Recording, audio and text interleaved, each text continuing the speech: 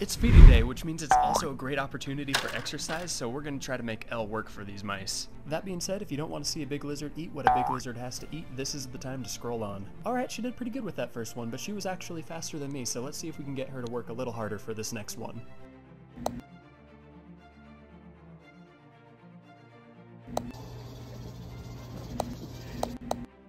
Oh, she got it! And just like that, it is gone. That is wild how fast it is. Nothing like yesterday's boa constrictor feeding. But if you enjoyed this, then you'll love that video too, so please check it out. And don't forget to subscribe for daily reptiles.